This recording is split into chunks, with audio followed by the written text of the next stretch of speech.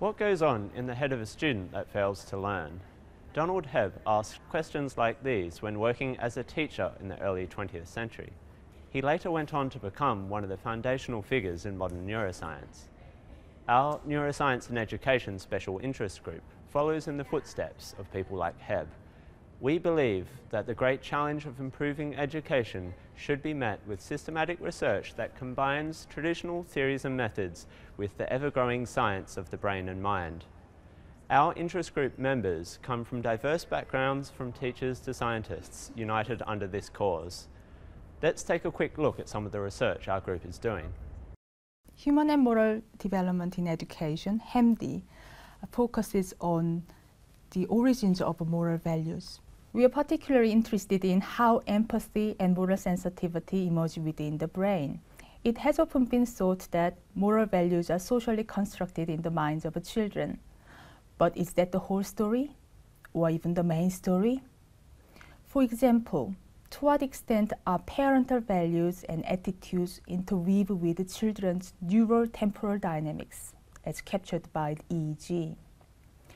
In the context of early childhood education, how and in what ways does a young child's learning environment, such as daily interactions with educators and playing tablet games, modulate their learning and brain development? The research projects that we have funded by the Australian Research Council were dealing with different facets of cognitive perspectives on learning, uh, behavioral aspects in terms of what goes on in classrooms, but also particularly with neuroimaging and brain sciences aspects. Where we see some opportunities now with the brain sciences work is to kind of triangulate a different angle. It gives us a way to maybe be able to not just say what they learned, but perhaps why they learned, or maybe why they're having difficulty learning in certain ways. The notion of productive failure has been articulated by uh, Professor Manu Kapur. Uh, initially, uh, Manu uh, explored uh, this approach uh, with students learning about physics, Newtonian physics. he's gone on to be focusing on learning in mathematics and statistics and having some very exciting findings there.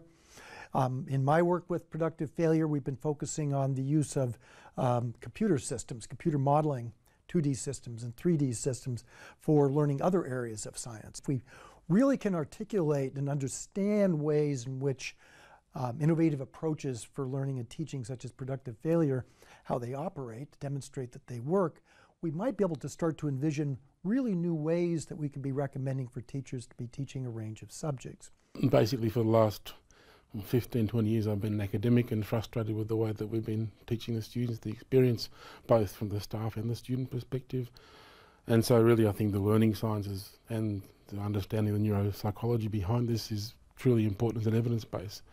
The students come to university full of beans, very excited to learn stuff, and they fall very quickly into a rote learning and fairly dull environment.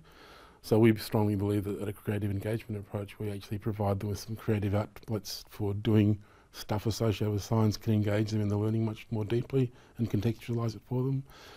So things whether we're using creative coding to do um, very nice data visualizations or getting students to be creative around writing stories or narratives or making videos, etc this kind of approach seems to be quite successful with the students. I think the exciting thing about the CLRI and the Neuroscience Initiative is understanding how these things actually can affect learning.